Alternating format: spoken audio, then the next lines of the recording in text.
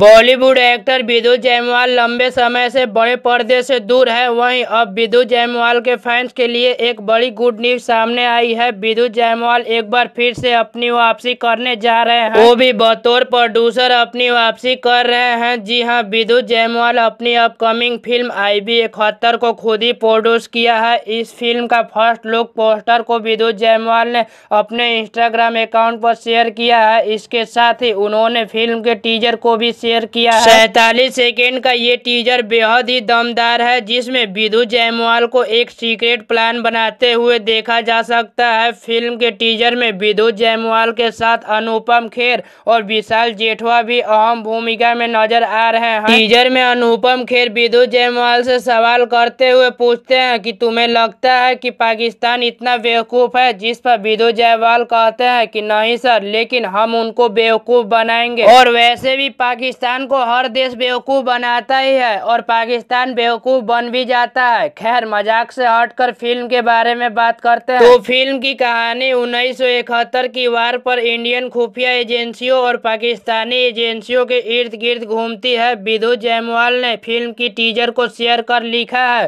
कि दो दुश्मन देश एक शीर्ष गुप्त मिशन और एक विजय गुप्त ऑपरेशन। आई बी भारत की सबसे गोपनीय कहानी है। आपको बता दे कि इस स्पाइसी थ्रिलर फ़िल्म का निर्देशन राष्ट्रीय पुरस्कार विजेता संकल्प रेड्डी ने किया है। जो 12 मई को आपके नजदीकी सिनेमा घरों में रिलीज़ होने जा रही है तो आप लोग कमेंट करके बताइए कि आप लोग इस मूवी के लिए कितना ज़्यादा एक्साइटेड हैं और आप लोग इस मूवी को देखने जाने वाले हैं या फिर नहीं। तो चलिए अब हम आप लोगों से विदा लेना चाहते हैं। अगर वीडियो अच्छी लगी हो तो वीडियो को लाइक कर दीजिएगा। चैनल पर नए हैं तो चैनल को सब्सक्राइब करके बेल आइकन घंटी को प्रेस कर दीजिएगा और अगर फेसबुक पेज पर देख रहे हैं तो फेसबुक पेज को फॉलो कर लीजिएगा। तो चलिए मिलते हैं अगले नेक्स्ट वीडियो में। तब तक के लिए टाटा बाय बाय जय हिंद, वंदे मातरम।